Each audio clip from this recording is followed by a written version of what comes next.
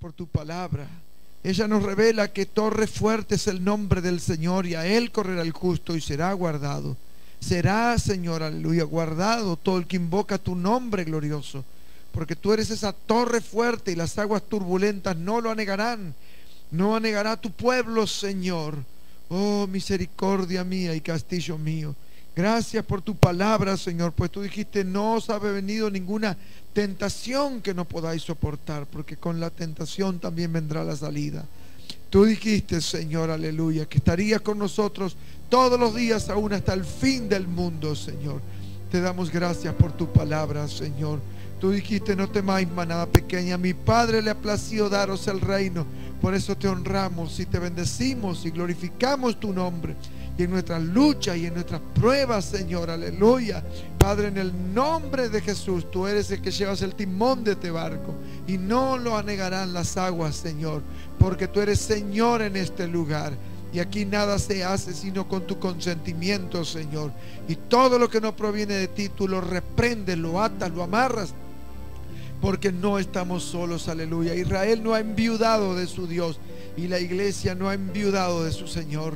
Oh, aleluya, Jesús. Te damos gracias por la palabra, por la sangre preciosa, por los ángeles poderosos con espadas de fuego que están a nuestro alrededor en todo momento, Señor.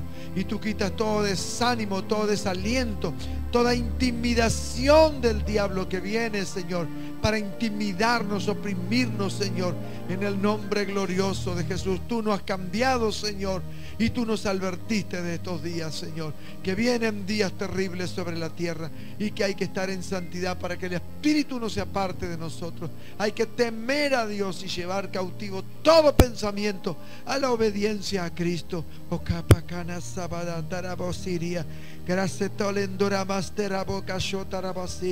todo va a comenzar a sacudirse más fuerte todavía, Padre.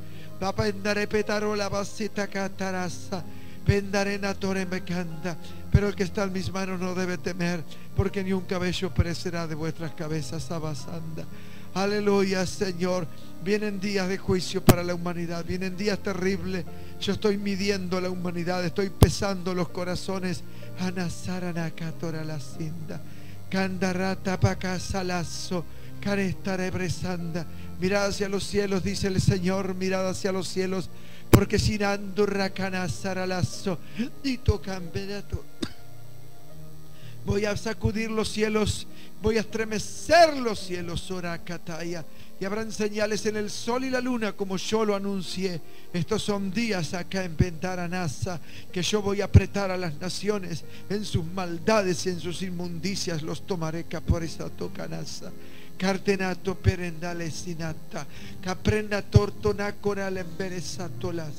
Que el hombre buscará y no encontrará ayuda, buscará aliento y no lo encontrará. Mi pueblo, mi pueblo, mi pueblo Mira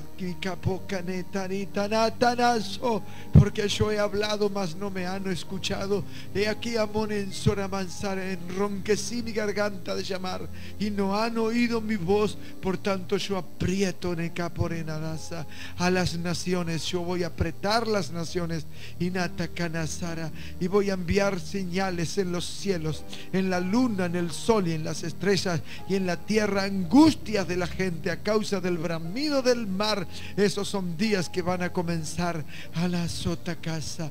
Pero yo os he preparado al capornara tocatare la prosa.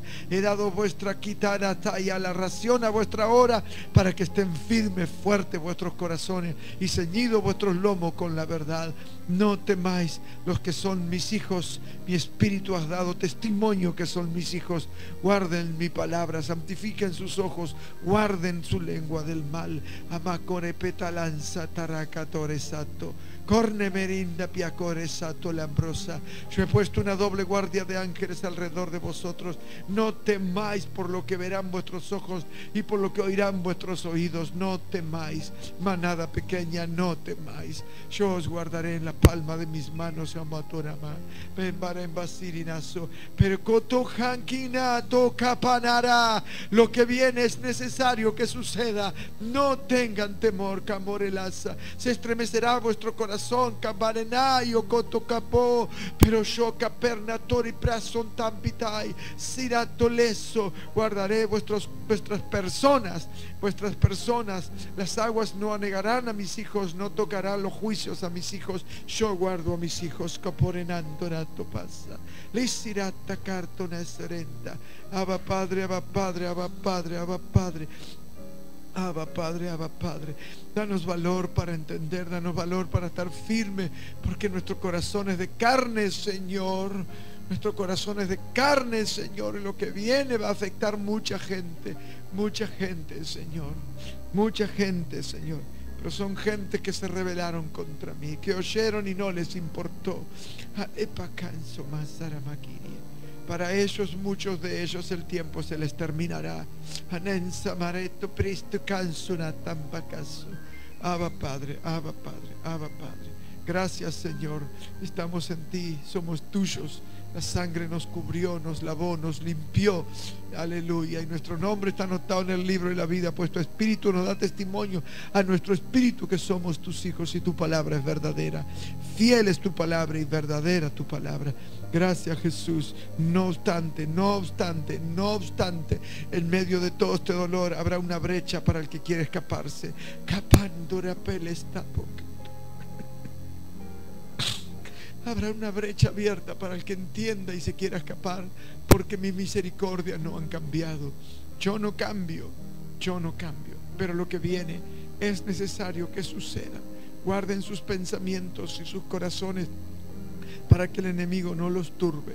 Pero habrá una brecha abierta en medio de toda tribulación para que ellos, los que quieran creer, se puedan escapar. Amansa paqueto la voz inabasanda. Carito presinana tora soa. Caramasila vasoba la vasiva. Abba Padre, todo es posible para ti. Gracias Jesús. Gracias Señor. Gracias Jesús. Te adoramos. Oh Cristo, te adoramos. Te bendecimos, Rey de Gloria. Jehová de los ejércitos, Él es el Rey de la Gloria. Alzad vuestras cabezas y alzad vosotras puertas eternas y entrará el Rey de Gloria poderoso para salvar, Señor. Gracias Jesús, gracias Señor. Gracias Espíritu Santo, gracias. Te adoramos, te adoramos, te adoramos, te adoramos, oh Cristo. Corra tu canasa, Gracias Jesús, gracias Señor, gracias Señor. Dios le bendiga, denle un fuerte aplauso al Señor. Aleluya Jesús. Gloria a Dios. Tome su asiento, por favor, y vamos a abrir nuestras Biblias. Mateo capítulo 25. Mateo 25.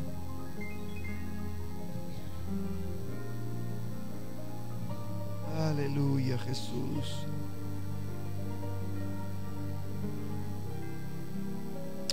Mateo 25. Aleluya Jesús. Gracias Señor.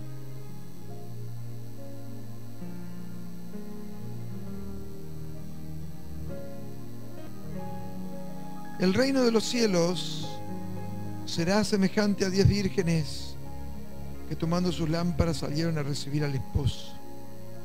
Cinco de ellas eran prudentes y cinco insensatas. Las insensatas tomando sus lámparas no tomaron consigo aceite, mas las prudentes tomaron aceite en sus vasijas juntamente con sus lámparas. ¿Cuál es la vasija?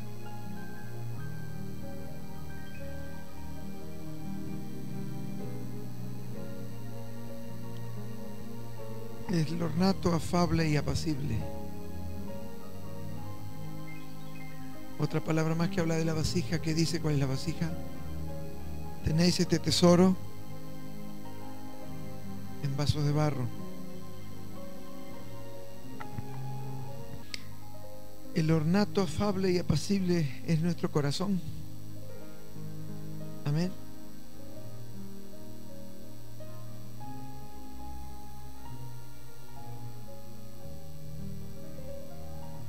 Esa es la vasija donde debemos tomar aceite.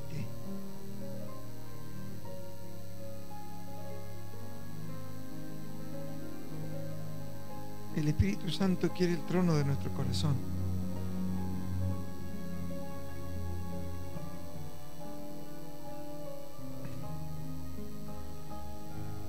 Cuando una madre tiene un bebé, trata que lo más limpio sea para su bebé. Camita, sabanita, frazadita.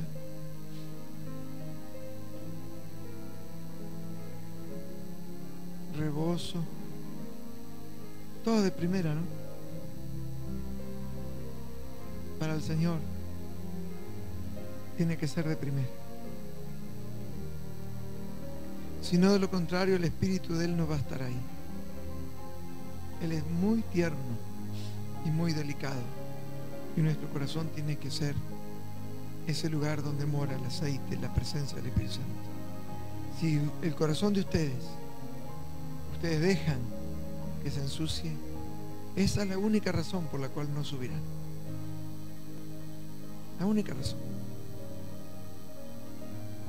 Porque en el corazón de ustedes, o mandan ustedes, o manda el Señor.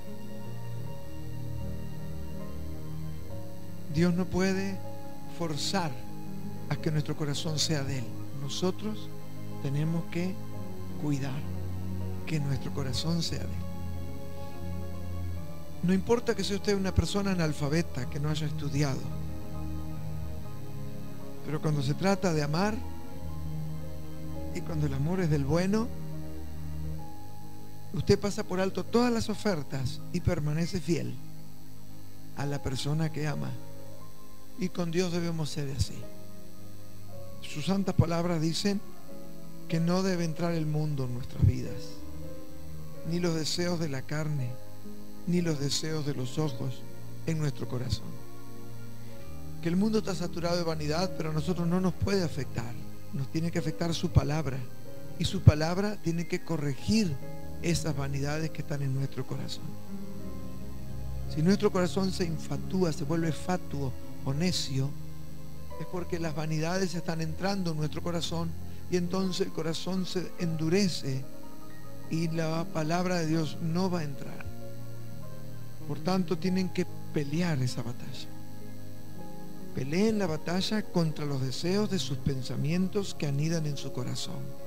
Entonces, si Él viene a buscar a su pueblo, Él va a levantar el corazón que está limpio. Porque el corazón es el lugar donde mana la vida como una fuente de agua limpia. Del corazón salen tus miradas, del corazón salen tus pensamientos, del corazón salen tus palabras. Si tú analizas lo que ves y lo que piensas y lo que hablas, si tú analizas quién dirige tu cuerpo o tus pies con los anhelos y los deseos, entonces estarás viendo el reflejo de lo que hay en tu corazón. Si las cosas están bien, si las cosas son limpias, son íntegras, no hay nada que temer. Vive tranquilo y gózate en el Señor. Pero si lo que haces no se alinea a la voluntad de Dios y a lo que Él quiere de nosotros, sabes que el rapto va a acontecer y tú no te vas a ir. Porque no es que Él no te quiera llevar, es que tú no tuviste celo por el rapto de la iglesia y significa que no lo estabas esperando. No te apercibiste para saber que el tiempo es el día, es el tiempo final, que estamos viviendo, que el tiempo del fin está comenzando y que Él va a venir a buscar. Por tanto, si tú no te apercibes y no lo esperas, entonces cuando Él venga no te puedes ir acuerdo? Hola. Aquí dice, las prudentes tomaron aceite en sus vasijas. La vasija es nuestro corazón. Y el aceite es la presencia del Espíritu Santo. sí, sí, nuestra persona manifiesta hacia afuera lo que hay adentro, también se manifiesta hacia afuera lo del Espíritu Santo cuando Él está adentro. Porque dice, recibiréis poder cuando haya venido. Si Él ha venido, si Él está, pues tenemos ese poder. Poder para sanar enfermos, poder para echar fuera a los demonios, pero también poder para obedecer su palabra. Y eso es poder contra los deseos de los ojos, los deseos de la carne y las vanidades de esta vida. Y Él quiere que venzamos en esas áreas. Y Él dice, para que seáis míos. Gracias, Espíritu Santo. Gracias. Gracias. Éxodo 19. Amén. Éxodo 19. Sí. Como dice el escribano, sí. Iba anotando, sí. sí, muy bien. 5 y 6.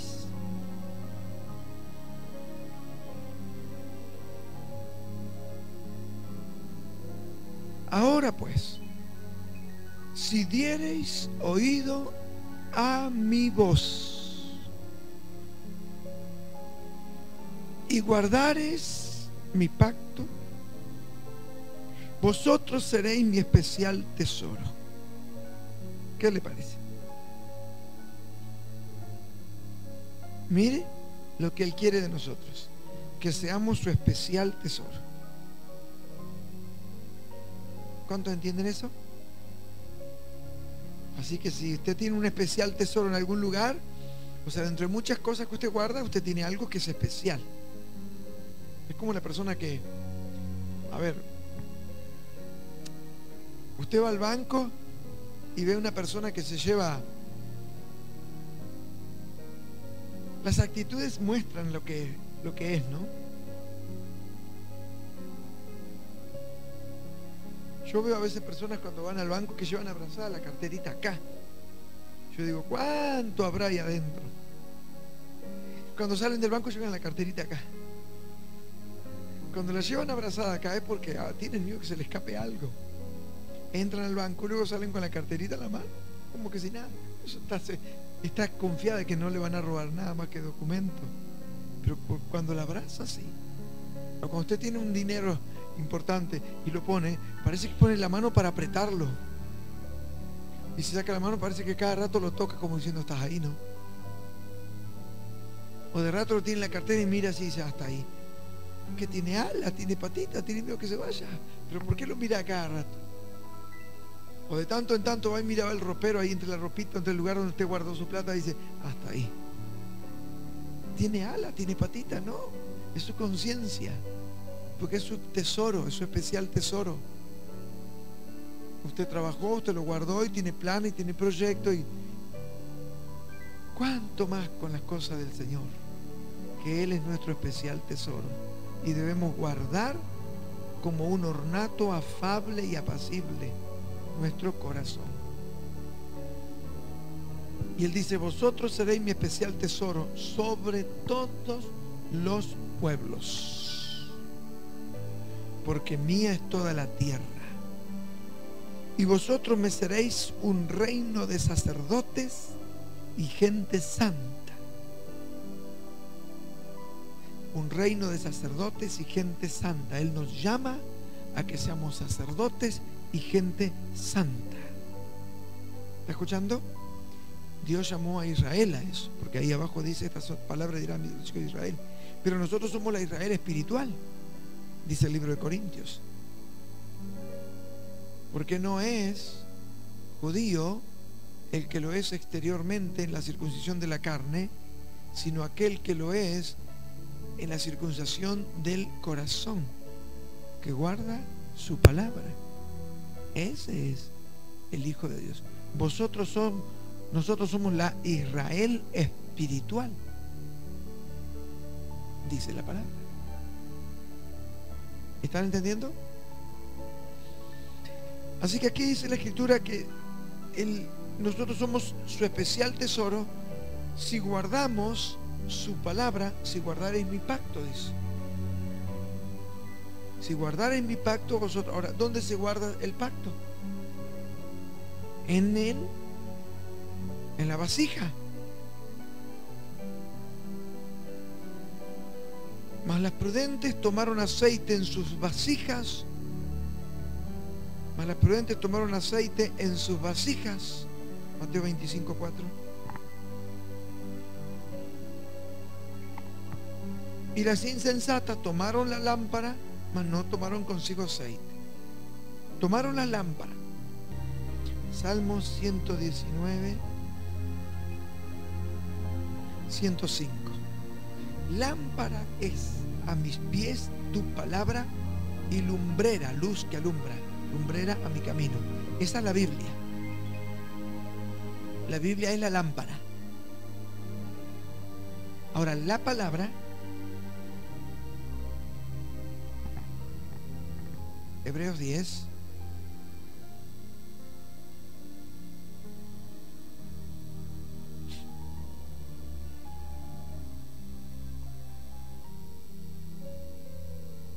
Hebreos 10, 16. Verso 15 mejor porque eh, eh, habla poderoso el Espíritu Santo. Y nos atestigua lo mismo el Espíritu Santo, después de haber dicho, este es el pacto que haré con ellos, después de aquellos días, dice el Señor, pondré mis leyes en sus corazones y en su mente las escribiré. Pondré mis leyes en sus corazones y en su mente las escribiré. O sea que lámpara es tu palabra. ¿Pero dónde se guarda la palabra? ¿Dónde? En el corazón. O sea que la palabra es la que alumbra. Tienen la palabra, la leen, la tienen a la palabra, pero quien la saca de ahí a la palabra, que es la que alumbra, es el Espíritu. El Espíritu toma la palabra que está en nuestra mente, porque dice, la escribiré en su mente y en su corazón, la escribiré, pondré mis leyes en sus corazones y en sus mentes. Significa que la palabra, que es la lumbrera, que es la que alumbra, está en nuestra mente, no en el papel. ¿Por qué? porque escribiré la palabra en sus mentes y en sus corazones. O sea, Él está traspasando la palabra del papel a nuestros corazones. Pero para que la palabra ahora que está guardada en nuestro corazón salga, ¿quién es que lo hace? Juan 16.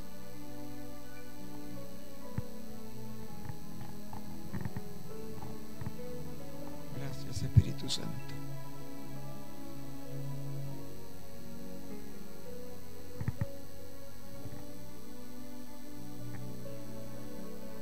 versículo 12.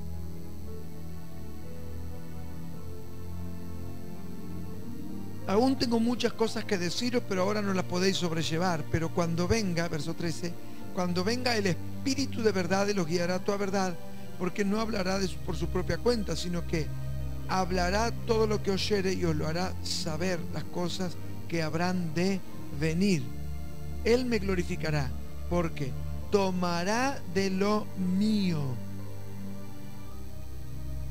¿Dónde está lo que es mío? No se trata de plata y oro, se trata de la palabra. El tesoro más grande que nosotros tenemos es su palabra, no es plata ni oro. Usted puede ser multiarchimillonario, pero si no tiene a Jesús no le sirve para nada. Como cantaba Julia Javier en, cuando teníamos la radio no te salvan tus millones. Si no tienes a Cristo, no te salvan tus millones. ¿Está entendiendo? Dígame si está entendiendo. Eh, qué lindo Jesús, ¿no? Todo lo que tiene el Padre es mío. Por eso dije que tomará de lo mío y os lo hará saber. Ahora, ¿cuál es lo más grande que tiene el Padre? Y déjenme decirle que la Nueva Jerusalén es la cosa más preciosa y una joya preciosa que el Padre ha hecho. Pero lo más importante en la Nueva Jerusalén es la palabra, el verbo de Dios. No es las calles de oro, no es el mar de cristal, lo más importante es Él. ¿Están entendiendo? Es la palabra. Porque te podrán sacar todas las cosas, pero que no te saquen a Él, porque Él tiene poder para devolverte todo. Y en la Nueva Jerusalén, y si anhelas irte al cielo para ver las calles de oro, pues las verás. Pero ahí, ahí, ahí se terminó, ese fue tu destino. Si quieres estar en la Nueva Jerusalén y quieres comer del árbol de la vida, comerás del árbol de la vida, pero llegaste a tu destino. Tú deberías de cantar. Entré por las calles, por las puertas de perla, brillaba más que el sol. Me llevaron por las mansiones no hay palabra para lo que yo vi. Hablé con Abraham, Isaac y Jacob, con Pablo y Timoteo también. Pero dije, quiero ver a mi Cristo, porque Él fue quien murió por mí Postrado a sus pies dicen santo, santo, santo. Y alzando mis manos di gloria, gloria al Hijo de Dios. ¿Está escuchando? O sea, si tú piensas ir al cielo, pues el cielo es tu destino. Pero si tú piensas ir al cielo a comer eh, el maná, pues comerás el maná y llegaste a tu destino. Pero si tú quieres estar con Él, entonces, cuando estés con Él, no terminarás de conocerle por la eternidad.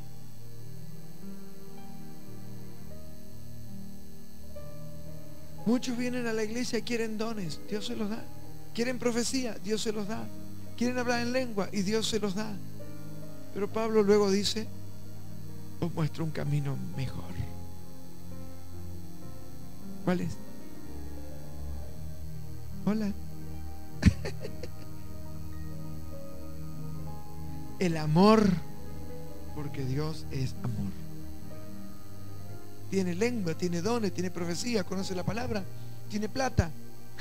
No tiene amor, no le sirve para nada. No le sirve para nada, no va a ningún lado.